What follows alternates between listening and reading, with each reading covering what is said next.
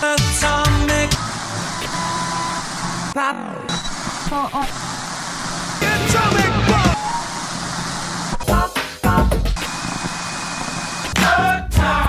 Pop.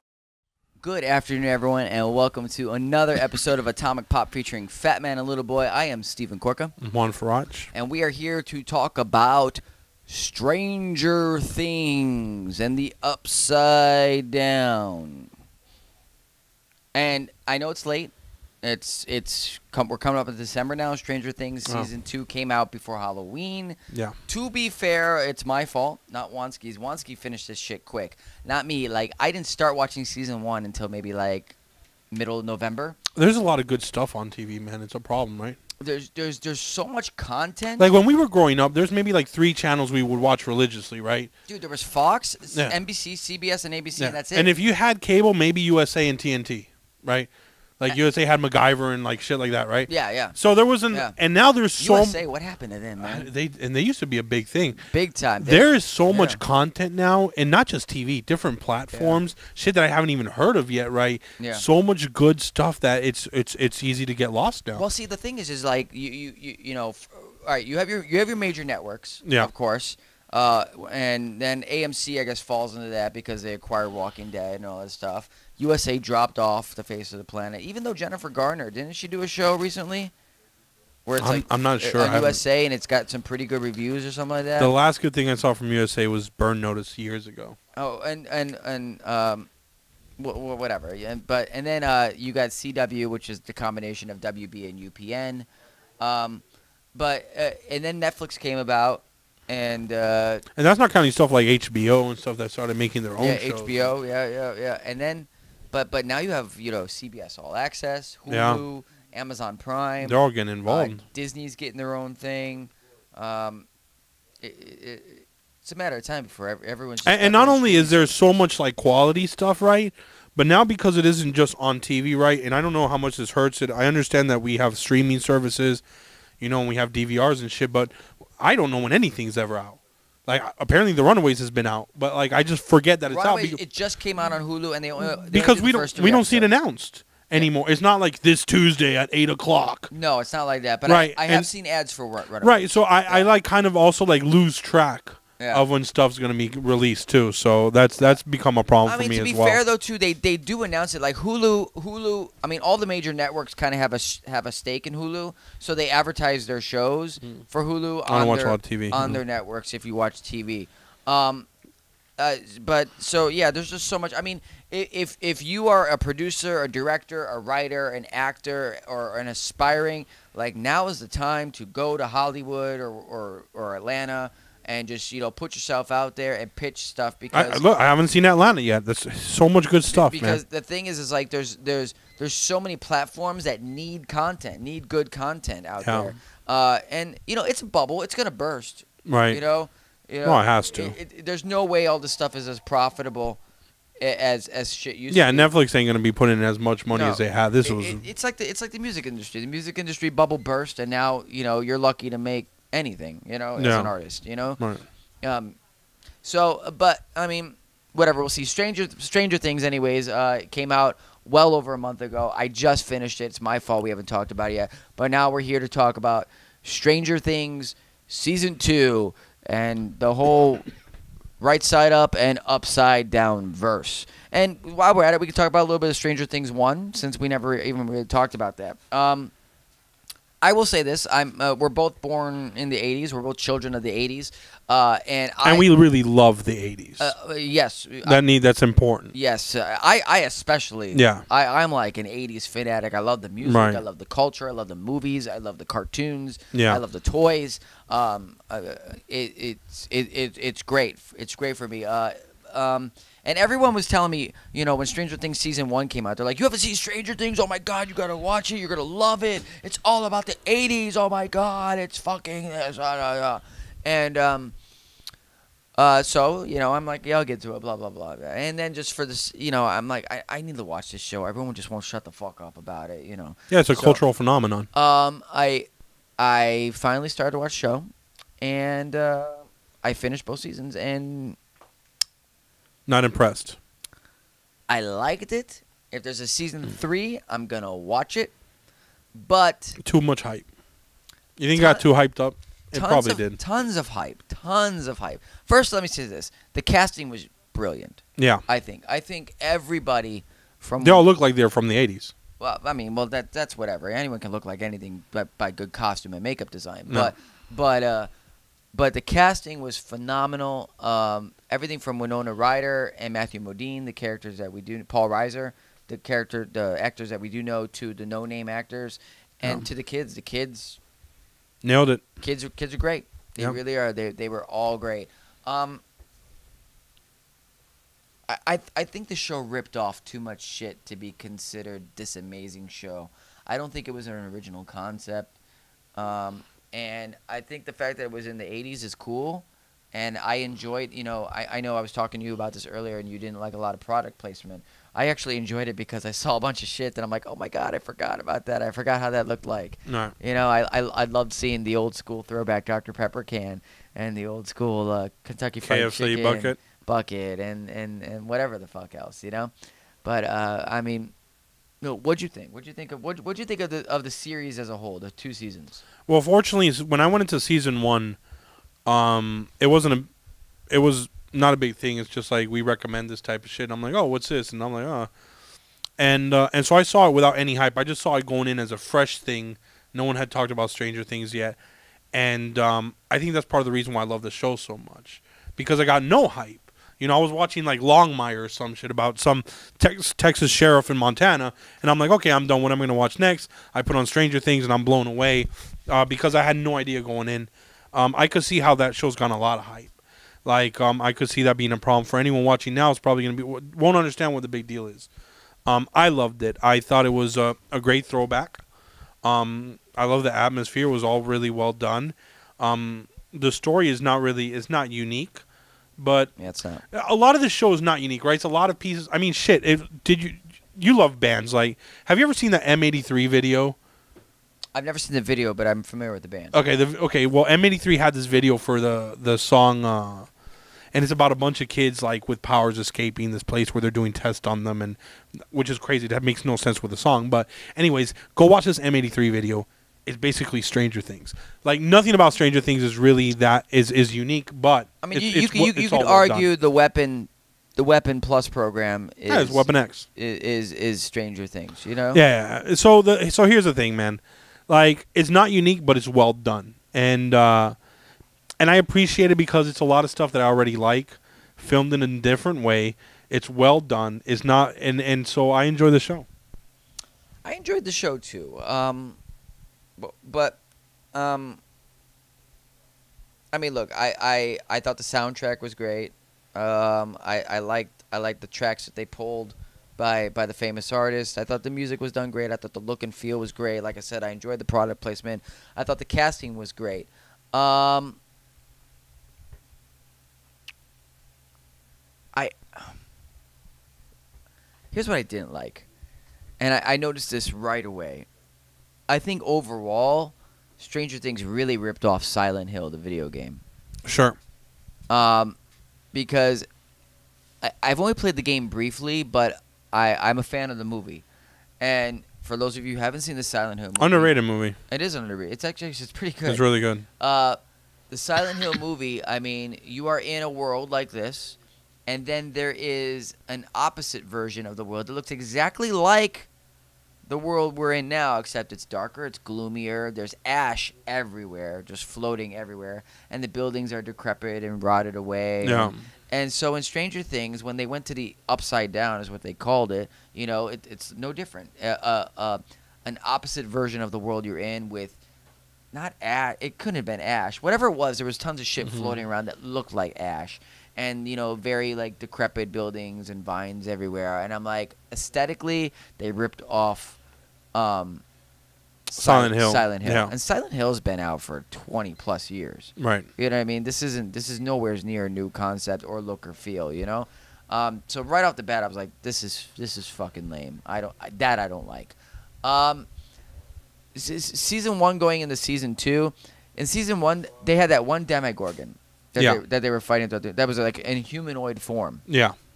That he must have been shot at directly a gazillion times. Mm-hmm. Machine guns, handguns, Yeah, yeah. you name it. Guy never went down. It Yeah. took 11 to blow that guy to a nothing bitch, yeah. to, to, to get rid of that guy. Right. Okay?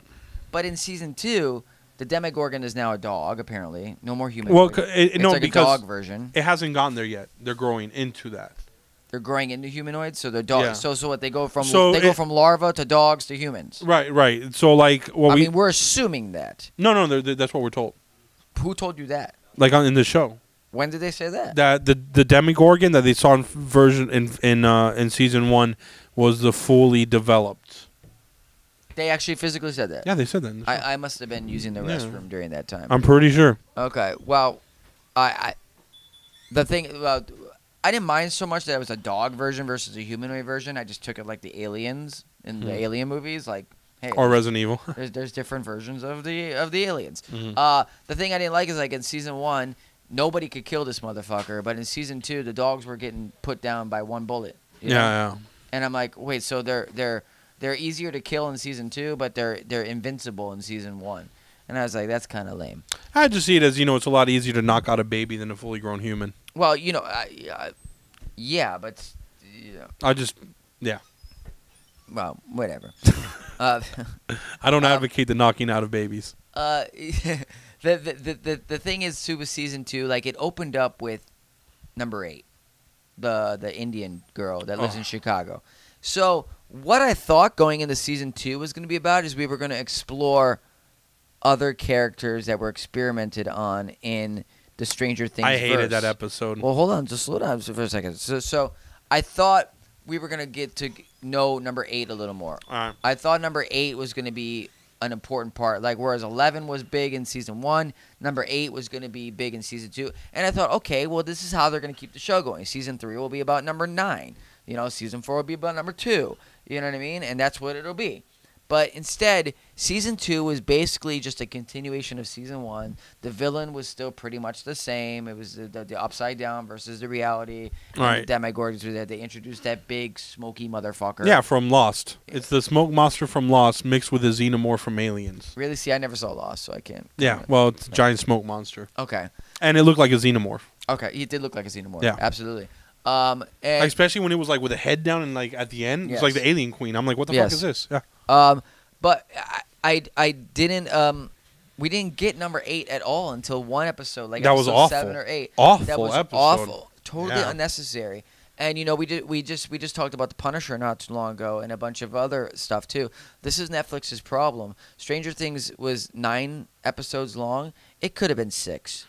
yeah, It could have been six, done out and- Easily. and and that's it easily. you know and so netflix really has a problem shortening their episodes and uh, shortening their seasons and just giving us what we want and they give us too much fluff I mean, it, it's it's supposed to be a, a platform. Netflix is a platform that's not supposed to be like television. It's supposed to be its own unique thing, Yeah. and and they present their programming to us in a unique way, which is there's not this like there's no commercials, right? There's no waiting a week for an episode. They give it all to us. It's all about binge watching, right?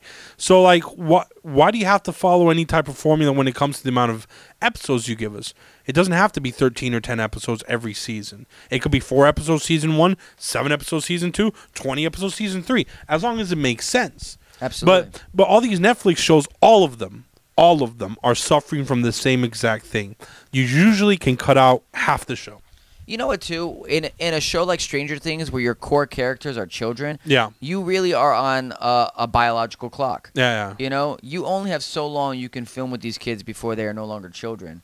So, in situations like this, like film the fuck out of it. You know, film 25 episodes, you know, over the course of a year and a half. And then divide it into four seasons. While you Yeah. still got these kids looking the way they look, why their voices haven't changed yet. Before they fuck up, you know that John, the kid that plays Jonathan, got arrested for cocaine Really? at an airport. Okay. So he's not allowed back into this country. Shut the fuck Yeah. up. Wow. Yeah.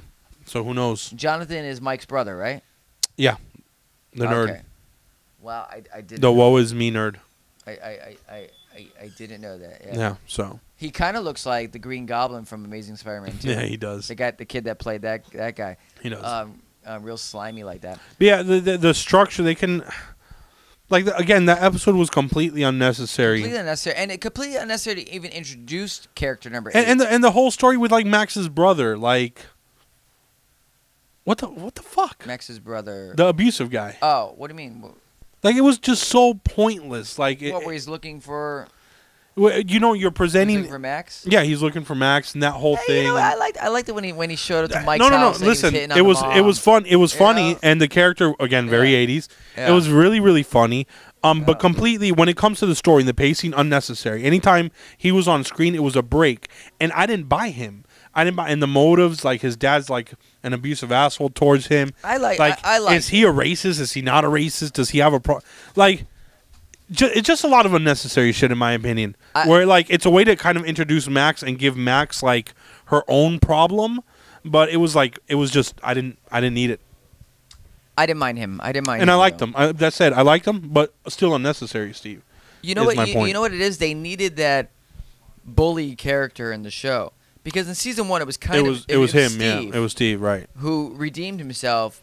And dude, I thought Steve was gonna die in season two, and I'm so glad he didn't. Steve's my favorite character in the show. Because I'm like, I'm like, Steve is like, you want to give him a hug and hang out with him. Like, I love Steve. He's a super nice guy. He's cool as shit. You know why I really Yeah. like him? I, I really felt for him that final scene. Because he has my name. No, that's not why I like him. Oh, um that final scene when he's like looking through the glass and he sees her like it was heartbreaking at the dance. yeah. Yeah. heartbreaking because you remember when he said he wasn't going to apply that he was just going to work for his dad like halfway through the season he's basically saying this is all i'm ever going to be Yeah. like he knows that that that woman is going to be a lot greater than he is ever going to it's it's like he was trying to hold on to something he doesn't deserve something that's greater than him Yeah. and like they always portrayed him like in season one as his jock, but in season two he's self-aware enough to know that like she's better than him. Yeah. He's always going to be a guy stuck in this town. She's going to achieve great things, and that was just heartbreaking uh, for the character. You got super deep with that. I really did. wow. He was. Uh, I was heartbroken for him. Yeah.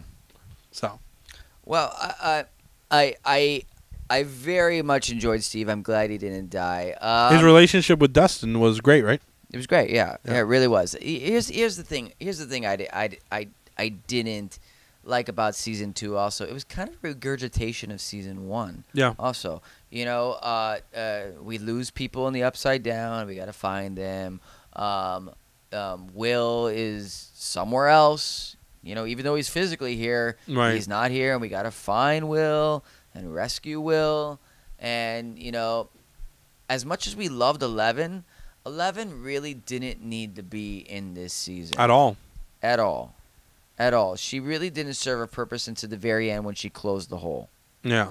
Um, and I, I just, I think the, I think the producers and the writer, the Duffer Brothers, I think it is. Yeah. You know, um, I, I think they, they, I think they took a bad direction here by repeating what they did in the first season when they had an opportunity to really explore the other characters that were experimented on, which I thought they were going to do. I thought that was the route they were going. Now, granted, number eight was not a great character, No. uh, but that's just poor writing. They could have made eight really cool. Yeah. You know, uh, th- that intro scene in, in the first episode, That was great. I was intrigued. I'm Yeah. like, oh, great, this is awesome. You know, uh, but then when, later on when we saw her and she's part of this like punk ro- rock group, Yeah. you know, it was just like this is this is stupid. Um, I wish they would have also gone that direction where they would have explored the other experiments as well. Um, each season maybe being a different experiment. exactly. It- Because- it- it- if, if you have 11, it gives you the opportunity for 10 more seasons. Yeah, and, and and again, the thing is Yeah. because a lot of season two was um was a lot of what season did one did already. Like after season one, there's really nowhere to go with these characters, in my opinion. Like There's nowhere to go. right, Yeah. like at the end of, and at the end of the season, we saw the same things. It's like it's still yeah. nothing. What like Lucas got a girlfriend? Like okay, like Yeah. so do most boys you when know they what? grow up. Do something bold. You created characters people love. You created a universe that people embraced.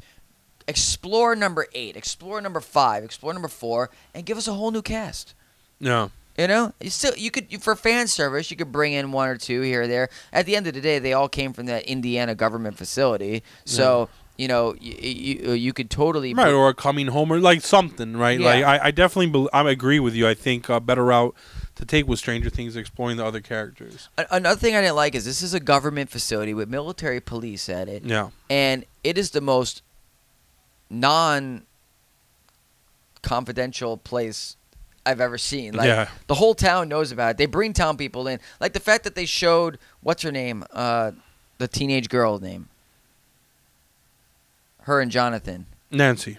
The fact that they, that, that, that, that, they, that they brought Nancy and Jonathan down to the sub basement level and Yeah. showed them the thing, and then They're like, like their kids. yeah, and like, then they're like, all right, well now that you saw it, go home, do your Yeah, homework. yeah. You know, and then that, that guy that they talked to about spreading the word, that whole that whole scene and when they went into town and Yeah. they, they met with that conspiracy But, but that, that that whole thing also that's um that's all plays on a lot of the '80s themes, right? Because you look at the a lot of those '80s movies were were centered around 16 and 17 year old kids being in the center, like Flight of the Navigator and yeah, I get it, shit but, like but, that, but you know? again, just more unnecessary stuff that that that the show the show could have I cut love out. Flight of the Navigator. They had an arcade machine to test whether someone was proficient enough to be used as a military weapon. Like, Yes, come on, dude. I, I understand. like, but, same thing. But they, they, they could. This is just stuff they could have cut out I the got show you. a little. But you don't think that's more like an '80s throwback that they did something like that? I mean, it took up a lot of screen time if that was the case. Yeah, that's true. You know, um, I want to say something that I think Stranger Thing does well, really well, is like the set pieces. It's beautiful. yeah. The show is beautiful. I mean, well, Um, Indiana's a beautiful state. No, no, but um, no. I, I mean, I don't. I mean the. if, if that's where it's being filmed. no, no, no, no, no. Wherever it's being filmed. I mean, yeah. I'm not talking about the state. I'm I'm talking about some of the the set. Like for instance, like when she's on the elevator, right, and it's just it's all dark around her, and all you see is like her hopper, that elevator. It looks great. Like I think it's it's it's something that you don't see in, in a lot of other shows. I mean, that's the computer, dude. Mm? I think they did a really good job. It It looks like a beautiful show. Oh, I mean, it is a beautiful show. I mean, when And I'm not just I'm not talking about like the trees and shit. I mean, when. Will went into the upside down and like and It looks great. Yeah, it looked great. I mean, Yeah. it, it does look great. Um, I just I don't think it's a hugely original concept, and I think they I think they they they missed a bunch of things in season two and, and a lot of opportunities. Because like here's the deal, they closed the hole, and that's been the, that's been the whole thing. So what's the point of the characters going forward? What's the next story? What are they gonna do? a bigger hole was season two. No, th- th- th- was season three? You mean No, season one was a hole. Season two was a bigger hole. they closed the hole? So what's season three now? Maybe they left a little part unopened that turns into the biggest hole ever. But do we really want to see another season with the upside down and demigorgons? I think I'm done with them. I'm think I'm done with the kids. I'm think I'm done with the little clever Dungeons and Dragons references. I'm done. I know. Yeah, that's an, yeah. It's it's a bunch of. Reg- It was really funny. It was cute. It was fine. Like when when Dustin, when they're trying to come up with Yes. a plan, and Yes. Dustin comes up with a D and D plan, And- and they and relate- Hopper's like, "Are you?" and He's like, "No, I'm not serious. It's a fucking D and D story." Like, Yeah. No, great. It, it, it is great, but there's there's nothing else to tell. Yeah, yeah. I I think that story is done, and those kids are done. Like, what are you gonna do now? And see, and this is where the producers and the creators fucked up because they could have had ten more seasons by focusing. But they still could. S- uh, season three might be about you number know eight, eight or Yeah. two. Number or two, three. number one. Yeah, I, I don't think the reception for that girl was really that great. because Everyone hated episode seven. Hated it. Of course it did, but not because of the girl, but just because it had nothing. First of all, episode six ends with the Demigorgons coming out of the hole and they're going to attack the, the government facility. Yeah. and it, it you know it's one of the cliffhangers in, in the episodes because the show was slow too. There was Yeah. a lot of like, like I, I didn't end the episodes. I'm like, oh my god, I want to keep going. What's next? What happens next? Yeah. there wasn't a lot of that. yeah, yeah. You're like another And, one. and this is one of those episodes that was like, oh, what happens next? Yeah. and then you go into a totally unrelated episode. I will say this: the the story of Eleven's mom was fucked up, no, like super fucked up. I felt for her. The fact that uh, Bob died, like that was that was crazy. it, it That was really out of nowhere. yeah, you know, uh, and and he was actually, you know, he he's actually a good guy with good intentions. Yeah. and a, and a hero. Um, But but I think uh, that goes to show about the uh, how season two how unnecessary it is, because like all her trauma and whatever in season one is what pushed her to him. So now they're gonna kill him to what push her to hop like, just no. Yeah. No, I'm I'm with you. So I mean, uh, again, missed opportunities. Uh, again, I liked it. Watch Stranger Things season one, two. Uh, those two are good. I'm very curious to see where they go for three.